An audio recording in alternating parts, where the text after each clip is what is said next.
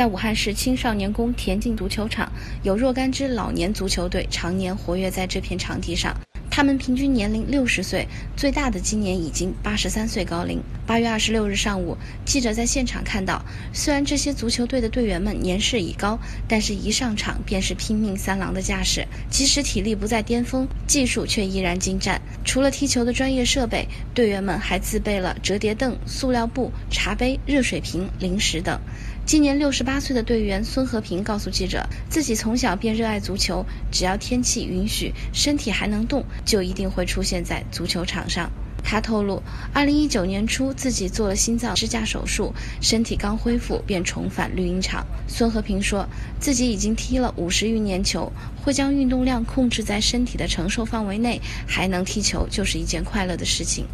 踢了走。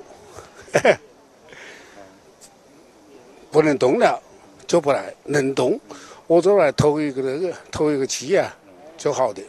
这是我这个主要，好像我这个工作一样的。我实在能爱足球，比能爱工作还能那个那些。我就是爱玩玩球。足球裁判界的老前辈杨占成也加入了其中一支足球队。今年已经八十三岁的他，不仅在队伍中年龄最大，也是资历最老的。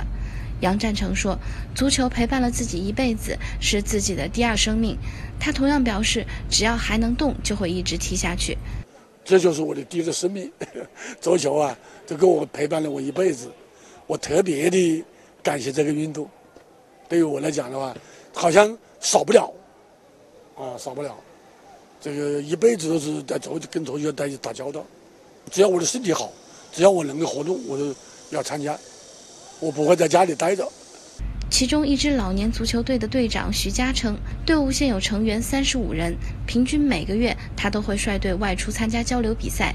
在他看来，足球运动本身就充满了正能量。尽管队员们都不再年轻，对比赛结果也不会看得太重，但对足球的那份热爱和激情不减当年。